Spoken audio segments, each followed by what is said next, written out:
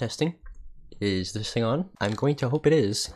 My name is Phantom Storm, and I am in the lobby of Insanity Craft, going to make an attempt of a guide. Uh, testing. Is this thing on? This is a small starter guide, I guess you could say, for the server Insanity Craft. Now, I'm in the hub just to show the whole step process. There's the survival, skyblock, and factions. I don't touch these two, at least not yet, but this is a guide for survival, so go here and then choose the one you want. Once you select it, you'll be given a set of armor and some iron tools, I think. There is an NPC here who I have not interacted with, but uh, there are you'll be in front of four classes to choose from. One being the magician. The first three levels you'll get jump boost, and the next five levels you'll get luck. And the higher the level, the more levels of XP you need. Next is Sonic, the class I'm currently running, and so far level 6, and I have speed 6, which doesn't exactly make sense. There's Healer. Healer, it increases your health every level up to maximum level 10, so 10 health, and then there's a Assassin I haven't touched yet, so I'm assuming it gives you a strength boost or something like that. If we do quick, if we quickly do class, I didn't notice you can merge two classes, and they both both classes need to be. Merge a class you need to be level 10 and the other one needs to be level 10 so let's go back into here. You'll be you spawn granted in spawn. Nothing really noticeable here other than some crates and the mystery one over there which has a chance to give you one of these keys uh it's the total monthly votes I don't see the point of that over here is your stats of overall time. Apparently, I, I, have only been on for one day. Interesting. And if we do rank up, no wait, no, before that, there are so to rank up to get anything higher than you start at Snoopy. To get up to civilian or any of that, you need to reach the certain milestone, being 10 hours of playtime and 24 votes for civilian. And then it increases and increases up to merchant. And you can't mine spawners if you don't have merchant. It's a bit weird, but that's just how it is.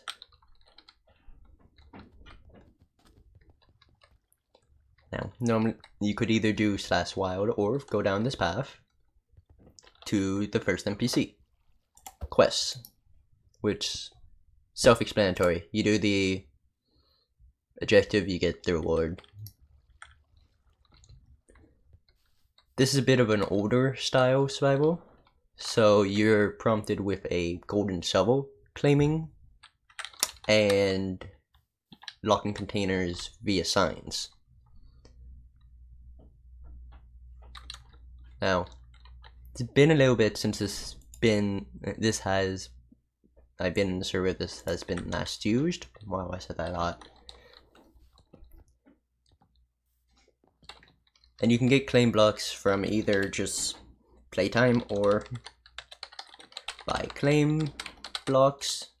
And each claim block each claim blocks is one dollar. I only found that out recently. The most unique thing on here that I find, other than all the spawners, is their custom fishing. So let's take a quick look, as I can't even, I tried searching and I can't find much info about this plugin. So this is, ignore that. This is a fishing plugin made by Prio Tempest Hopefully I said that right. I think it's called Prio Fishing or whatever. Anyways, you can sell fish every 180 you get a new delivery, which is basically mission for awards. This is the codex to see what type fists are in what category. You can find certain types of fists only in certain areas. The scale is like a mini miniature gambling system. The higher you go, obviously the more risk, but the higher the profit. Starting from low, it's a 70% chance of it working, and it can go up to 20% their base price.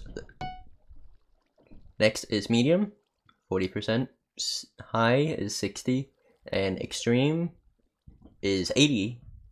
But if it fails, that could also go 80% down the original price. Then there's the bait story. I don't think is enabled since it's just blank.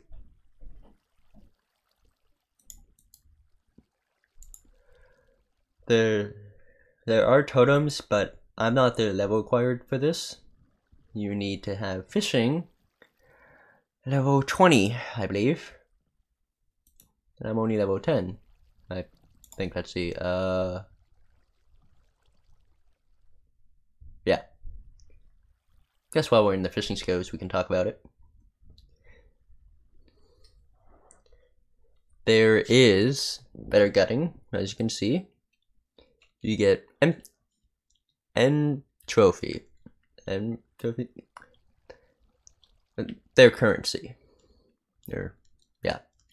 You can get them from gutting fish, catching fish.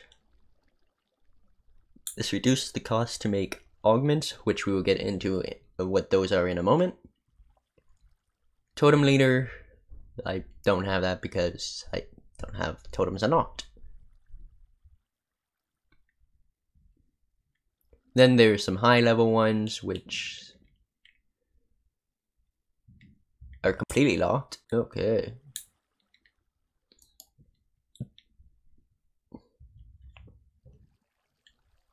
I guess we should get to uh, talk about the augments. So, here, and you can see all the augments you can make. There's Hotspot, which is what I have. Requires level 10, 50,000. It can go up to level 13, and each of these have a crafting a item requirement to craft. And to make these, you throw all these items into a cauldron that has water in it and right click it with fishing rod.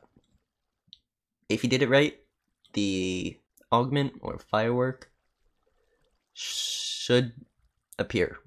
Then you put it in here and your fishing rod here, you combine, and yeah, then you got uh, enchant. There are duels like almost every survival server little starting area for some food. Of course, an auction house which people sell mending on for like 30, 40,000. And what I haven't seen um, done most of the time, a lot, is free items. Now, they're just building blocks, but it can be really useful if you're using those.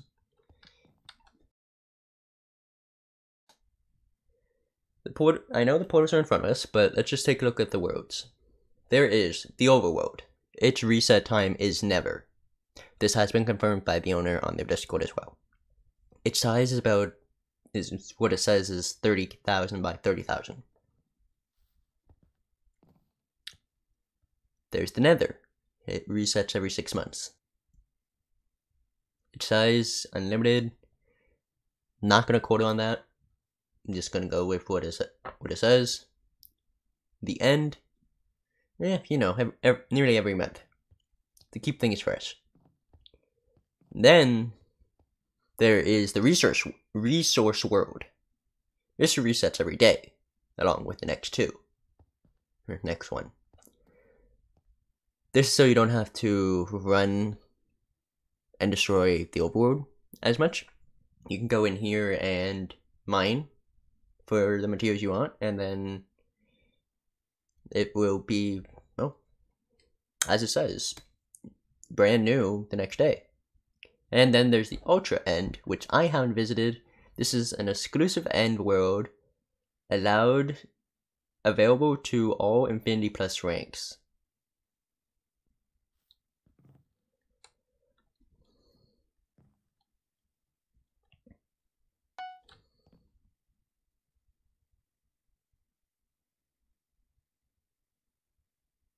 Every time you vote as well, you get like six keys, And you can shift click the grade I only realized recently to open them all. And it will also give you like three hours of flight, which can be useful. No, actually is really useful. Now here as well, theirs is a bit unique. They made it so their links actually tell you how much longer you have till you can vote again. Uh, now for money, I'm not really sure, but I've been going to last Blaze grind Blaze Grinder for XP and sometimes money, since yeah, you can sell them.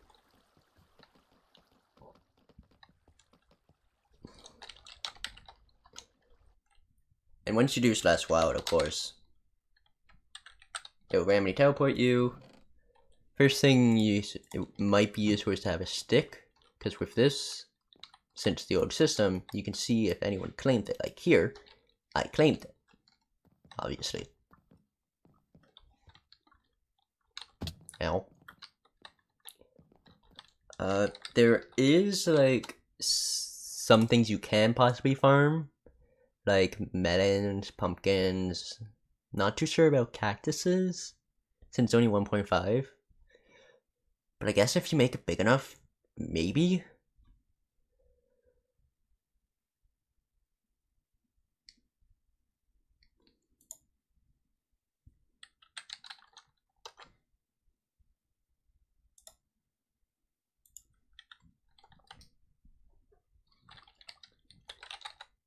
Once you get enough XP, you would click here, it would level you up, you would get a perk. Now, I just got lucky with the crates and obtained a mega sword, really useful. And the only thing I added was mending to almost every single piece uh, tool I have. Even the fishing rod. Just so I, well, you know, they don't break on me when I need them. And if they do get low, I can always just go to the blaze spawner and just repair them.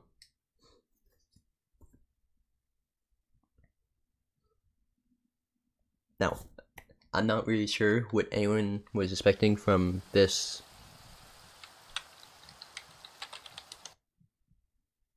from this video or guide since I'm only, as the game says, a day in here.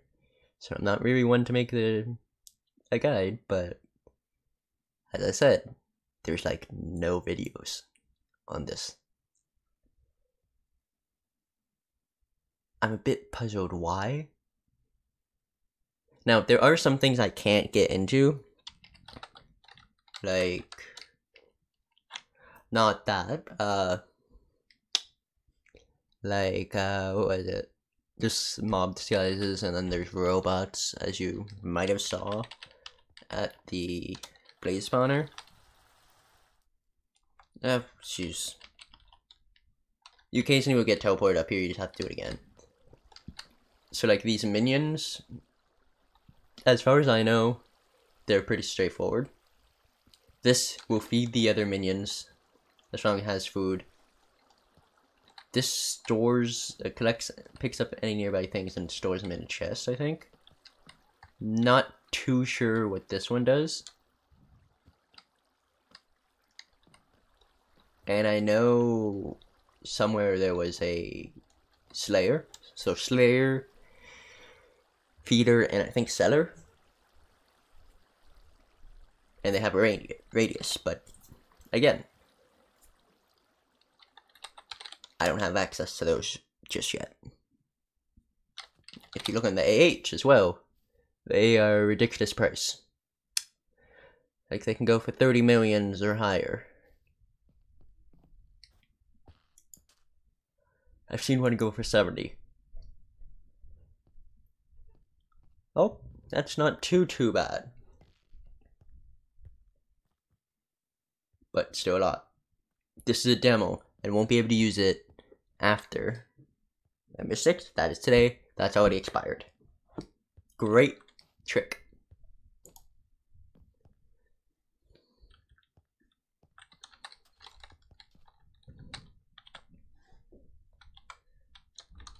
Now, I know this might be, this was a bit short, but I made the best I could. I don't really know what else I have to cover on here. A typical survival with the addition of the perks of each four classes and the plugin. Now for money guide, as I said, I don't know how, how it works. I've just gotten lucky with votes, quests, and